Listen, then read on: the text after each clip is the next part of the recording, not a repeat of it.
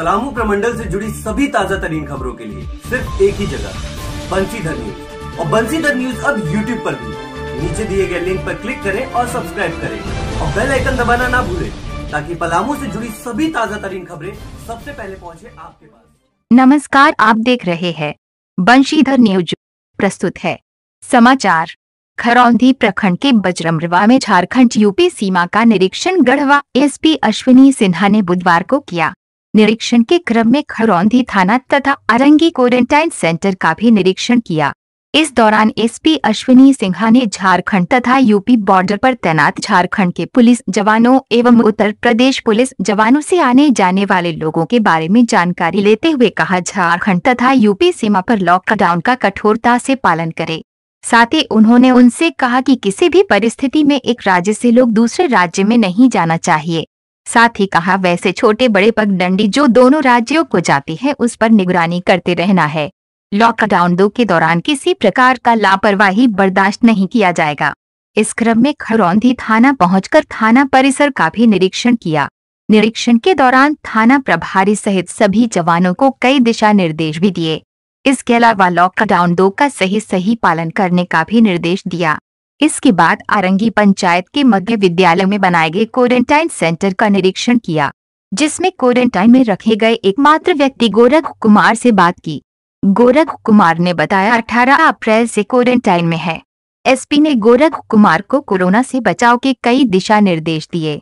इसके साथ ही quarantine centre में मौजूद व्यवस्था की भी जायजा लिया। गढ़वा एसपी ने पत्रकारों से कहा खरौंधी प्रखंड में आमतौर पर लोग घरों में हैं।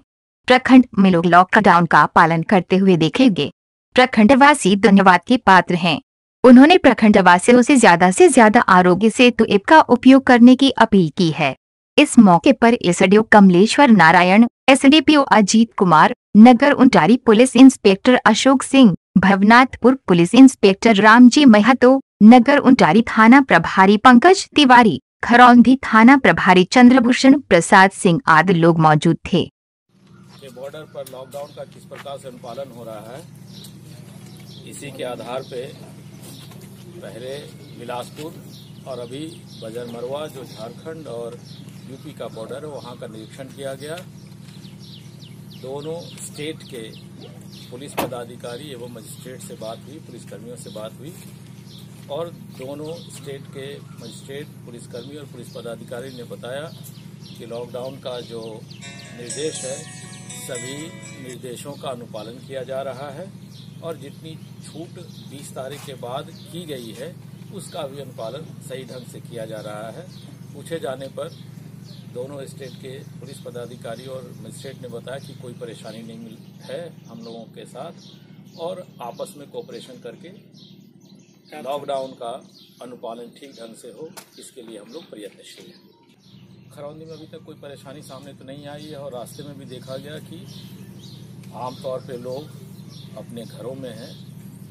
यह एक अच्छी बात है और इसके लिए खरौंदी की जनता धन्यवाद के पात्र